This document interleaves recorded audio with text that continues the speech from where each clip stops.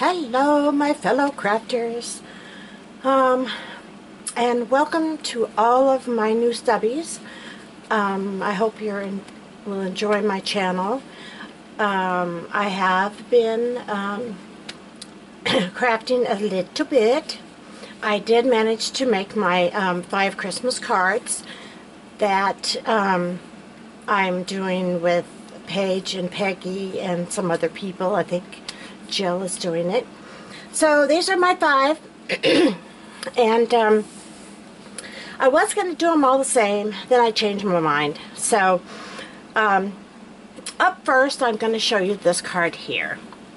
So this card, this was a front from an old card that I had and I had actually seen this idea somewhat similar on um, Pinterest.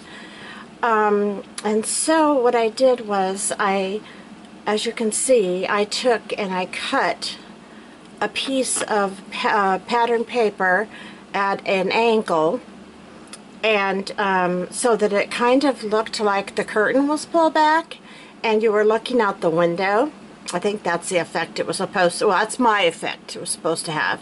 And then I just put this pretty little, um, um,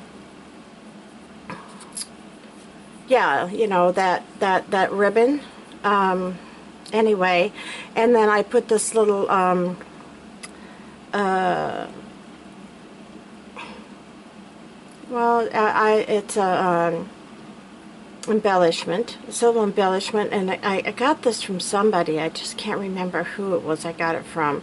Anyway, um, so I put this on, um, that on there, and I think the card turned out really cute. I etched everything in Vintage Photo, and yeah, I think I used Vintage Photo, and um, then this is the inside. I just put um, some paper to, to write on. Um, I might put a sentiment in there, stamp a sentiment in there. Um, I haven't quite decided yet. So that's the first card. And then the next four cards, I actually uh, did some, um, uh, what do you call that? Um, I took uh, three different colors of um, of distress inks and um, two in blue and one in purple. And I did some sponging. And so I sponged all the backgrounds.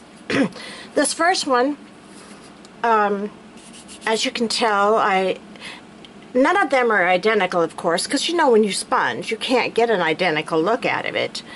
Um, but they're so pretty. I love how they turned out then what I did was I took a stencil, I made a stencil with um, little tiny holes in it and I took some, um, it's the snow, the little um, bottles that you can get and I just went over it and then I let it dry so there's um, a raised uh, feel to it.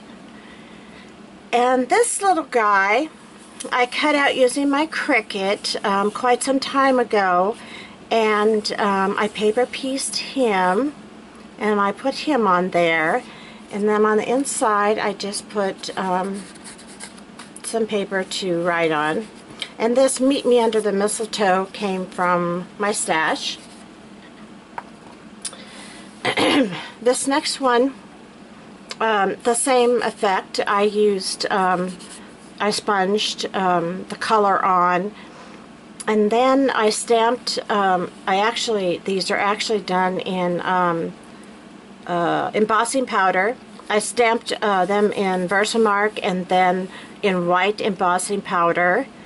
And then um, I did the same thing with the snow. And then over here I stamped out Winter Wishes um, also using Versamark and then um, putting um, embossing, black embossing powder on it, and I just, I think it turned out so cute. I love how his little nose is looking up at the snow. and then I just put a uh, thing on the inside to write on. The next two are pretty much the same, just different in color. So I used this die cut that I had gotten um, quite some time ago from Gina Marie. And um, I did the same thing with the backgrounds. There is snow. I don't know if you can see that. There's snow behind the trees. This is also um, a layout that I got, I saw off of uh, Pinterest. Of course, mine's always, mine's different. Uh, you know, they always are slightly different. Um, I, but I really like how they turned out. I think they turned out really pretty. I put some red glitter paper at the top and the bottom, just a strip underneath. And um, the birds are also from, um, I think they're also from Gina Marie. Um, they're birds. And then I can't remember who made this little sleigh. But I thought it turned out real pretty. And on the inside, it's just got um, some red and white paper. And I'll probably stamp a sentiment in these as well. um, this one I did in blue. Um, I did this a little bit different in the respect that I didn't darken it as much when I sponged it. Um, and when I put my birds on, I used um, some glitter paper, which was the same color as the sleigh, but then I also used some, um, uh, uh, was it metallic? metallic paper, the, the shiny stuff. And then that's on the inside. So um, those are my five cards for um, this month, February. And um, I had a lot of fun making them. I really am excited about my new craft room because I'm going to be able to do a lot more um, embossing and um, doing the sponging and stuff because of um, the um, the way my it's going to be set up. So um, thanks everyone for watching and if you would like to join in please join in um, if there's no challenge it's uh, it's just a bunch of people making cards and uh, you know it helps you to make increase your, your uh, supply and you don't have to worry about running out and trying to get it done in, in uh, November and not in December. There's also another challenge, a monthly challenge, and it is actually a challenge. There's actually a prize at the end of it, um, and that is Myra, who is Crafty Rats. Um, you are to make five tags a month, and they must be either winter or Christmas.